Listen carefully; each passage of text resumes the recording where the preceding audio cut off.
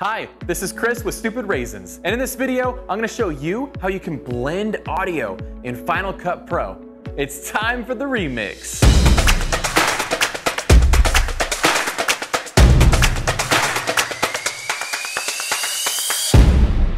Now I'm gonna share with you how to blend audio using different crossfade tools within Final Cut Pro. Then we're gonna use that tool to blend some music tracks, speaking clips and background noise. And as a fun bonus, we're gonna take a music track, we're gonna shorten it and lengthen it using the same techniques. Let's check it out. We're gonna take a look at these, uh, this audio here. Let's play it back. Very nice, very nice. Ooh.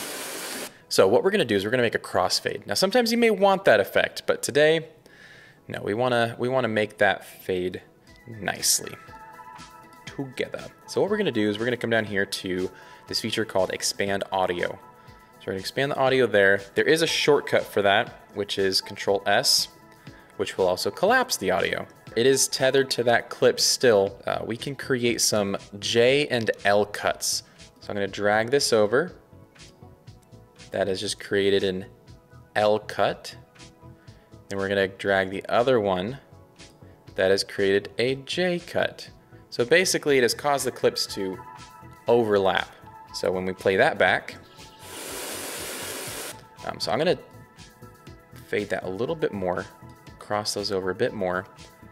And then what we're gonna do is we're actually gonna take this and drag these volume control points because it still wasn't quite what I wanted to hear.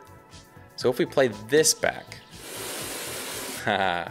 Much nicer. Now we can take this a step farther and make a few more adjustments. We'll right click on that volume control point. Usually what is recommended is to do the S curve, which creates a nice, gradual, very pleasing to the ears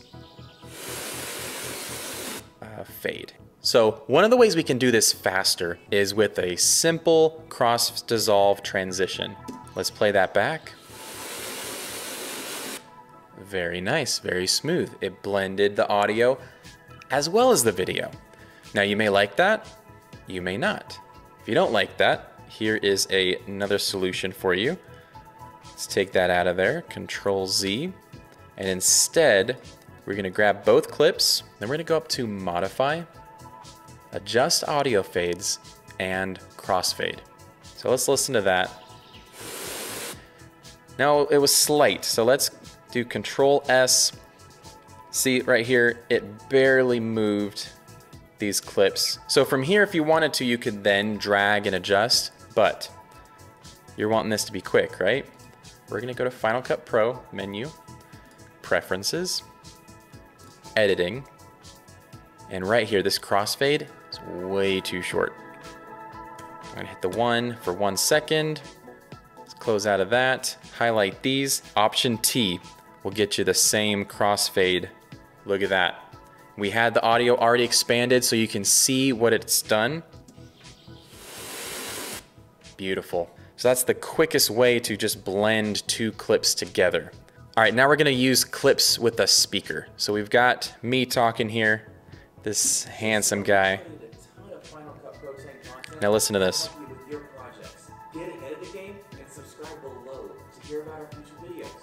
So while that's not terrible, we can improve that transition. So we're gonna do the same thing. We're gonna take, take both these clips, Control S, we've got that expanded audio view now. We can take each of those clips and scale it back some, create those J and L cuts, add this transition. A little bit of a fade. Make sure those are on S curve, yep. Yes. So we got that nice blend, more of a subtle change rather than that abrupt like popping sound. Very nice. All right, so just like before, we're gonna highlight both of these. We're gonna hit Option T. And look at that. We already have our preferences set for one second. Let's listen to this. Beautiful. If you're finding this helpful so far, just know we release new content all the time to help with your Final Cut Pro projects. Stupid Raisins tutorials blend well with subscriptions. Subscribe to our channel and hit the bell to get notified when we release our next video. All right, now we're gonna look at some audio tracks, specifically some music tracks here. So we've got these two songs. One's uh, kind of a heavier, heavier country rock track, and then a very electronic. I'm gonna give this a little bit of space here. Give that one a little bit of space. Let's bring them in and drop this cross dissolve on them. Let's expand that out a bit. Now let's listen.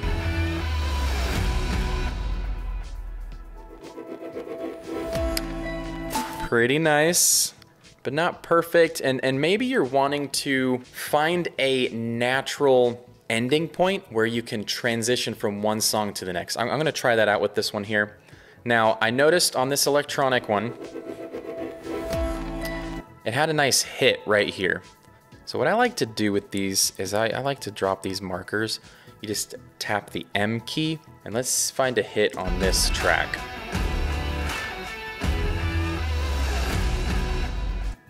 Let's mark that and we're gonna drag these over each other. That Those markers help them sync up, line up. Bring this over, bring this over.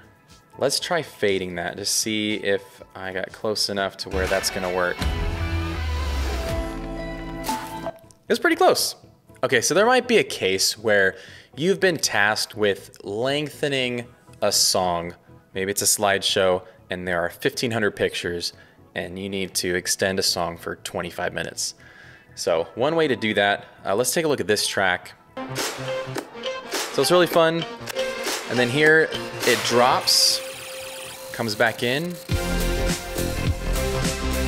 And you'll see that moment happens a few more times. And a little bit of deja vu. All right, so I'm gonna zoom out a little bit, duplicate this track. We're gonna hit hold option, drag it, and let's cut this up a bit.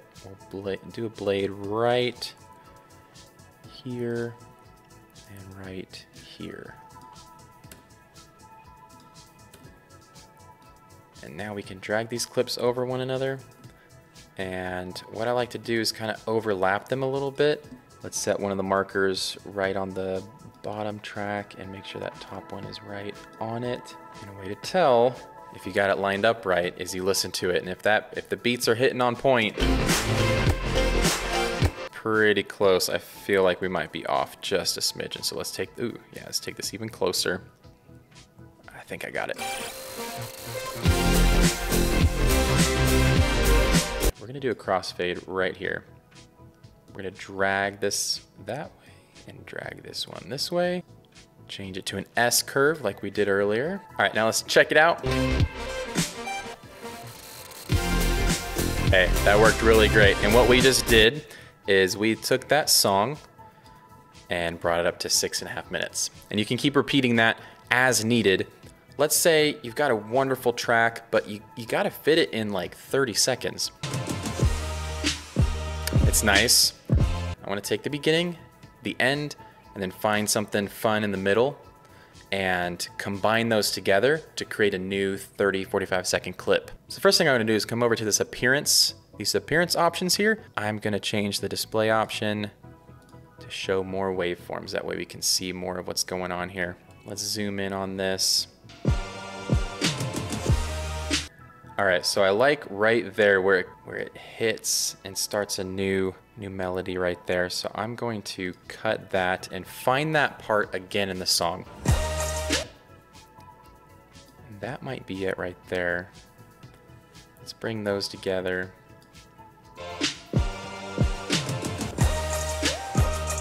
Close. Overlap those a bit find that spot. Yep, see we're just slightly off here. All right, so that's pretty nice. Let's bring this fade right here and try this out. So that right when this hits, not too shabby. Let's change that to an S curve though.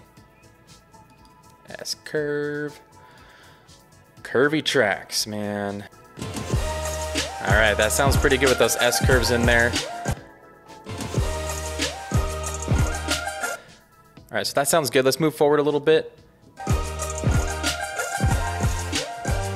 I like where that ends right there. So let's grab this. We're gonna find the ending. The end of the track right there. Let's cut that. All right, so we're bringing this ending clip here. And I'm just trying a few different ways to find a good ending spot. What I'm noticing is there's this one sound that I keep hearing. That same. Forgive my singing. it sounds like it's happening right there. I want to say it starts there in this track. Let's listen. Close. Let's bring that back over.